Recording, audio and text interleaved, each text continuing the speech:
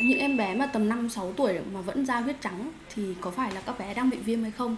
Và bác sĩ Hoa nhận được cái câu hỏi này không phải một hai lần đâu và khá là nhiều các phụ huynh để ý thấy rằng con mình rõ ràng là các bé chưa có hành kinh lần đầu. Đối với theo nguyên tắc nếu chưa có hành kinh lần đầu, chưa có sinh hoạt thì các bé không thể viêm được nhưng tại sao các bé lại có thể ra huyết trắng, có những bé còn ra huyết màu vàng và màu xanh cơ.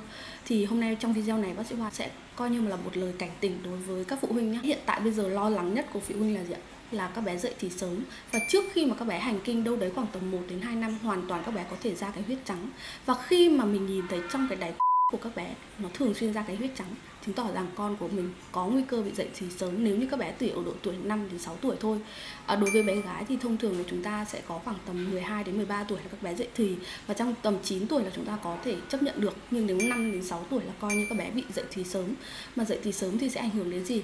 Các bé có thể phát triển cơ thể của mình sớm hơn trong khi cái tư duy của các bé nó chưa phát triển phù hợp với cơ thể của mình các bé có thể sẽ gặp cái tình trạng mà mình mang thai ngoài ý muốn bởi vì các bé không biết cách phòng tránh sẽ làm cho các bé hạn chế về chiều cao bởi vì nó phát triển quá là sớm như thế, nó sẽ không phát triển tới mức được của cái chiều cao của mình. Về lâu về dài, các bé sẽ dễ bị mãn kinh sớm hơn, bị loãng xương hơn và các bệnh chuyển hóa nó cũng sẽ xảy ra dễ dàng hơn. Thì các phụ huynh bây giờ rất là sợ cái tình trạng mà dậy thì sớm. Thì một trong những cái đặc điểm mà nhận dạng đấy là trước khi mà hành kinh thì các bé có thể ra một xíu những cái dịch màu trắng hoặc màu xanh. Nhưng mà về nguyên tắc thì nó phải màu trắng, nhưng tại sao các bé nó lại màu xanh và màu vàng? Vì trong khi rõ ràng là các bé chưa sinh hoạt thì nó sẽ không có khả năng gây viêm, đúng không? Nhưng mà mọi người này, khi các bé đã có những cái dấu hiệu của chuẩn bị dậy thì mọi người sẽ để ý trên trên cơ thể của con mình nó có sự thay đổi. Và giữa cái mối quan hệ của mẹ và bé lúc này là cực kỳ quan trọng.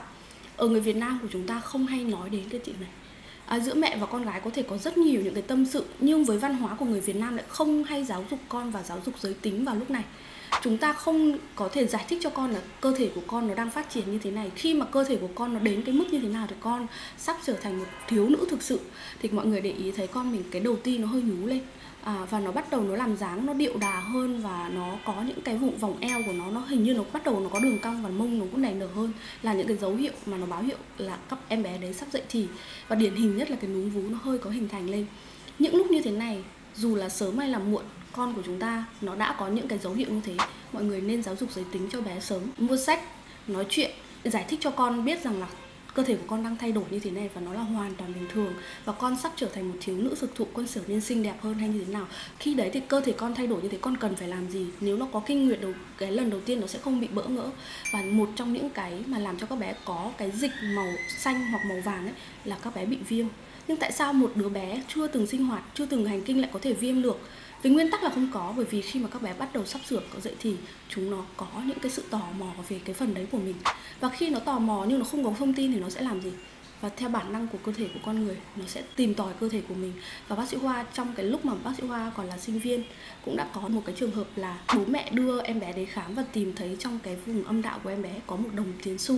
Thì hỏi nó là tại sao nó lại nhét cái đấy vào thì nó sẽ bảo là cái đấy thì cháu cháu nhét vào thì cháu cũng thấy nó rất là là cảm thấy nó rất là thoải mái thì cháu sẽ nhét vào. Tức là em bé không biết làm gì, nhưng khi nó bắt đầu có những cái dấu hiệu của tuổi dậy thì nó sẽ tìm cách để khám phá cơ thể mình. Và khi mà đấy được gọi là trong một cái phương pháp tự xử của các bé, không có cái gì là đáng lên án ở đây cả, vì các bé đang muốn tìm hiểu cơ thể mình. Nó không biết thì nó phải tìm cách thôi. Và lúc này mình là người bố, người mẹ, mình sẽ phải nói cho con mình biết là nó đang thay đổi như thế này để cho tránh nó việc mò lần và nó phải gây ra cái tình trạng đáng tiếc như thế. Bởi vì khi các bé mà đút bất kỳ một cái gì đấy vào trong đấy để nó tìm hiểu cơ thể nó, thì nó sẽ gây ra nguy cơ bị viêm nhiễm. Có thể có những bé thì cho tay, có những bé thì cho đồng xu, có những bé thì cho bất kỳ một cái gì mà nó đang tìm hiểu cơ thể nó thôi, và nó, vì nó không có thông tin. Và có một cái nữa là khi mà các bé ở độ tuổi này, khi các bé không biết được là cơ thể mình đang thay đổi, tại sao nó lại khác những cái bạn khác?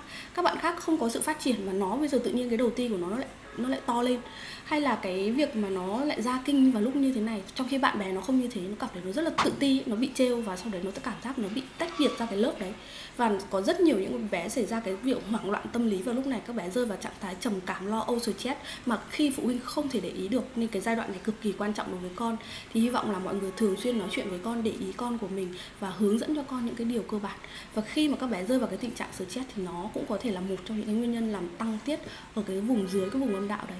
Nếu như có bất kỳ những cái gì mà bất thường của con, hãy đưa con tới các cơ sở y tế gần nhất để khám mọi người nhé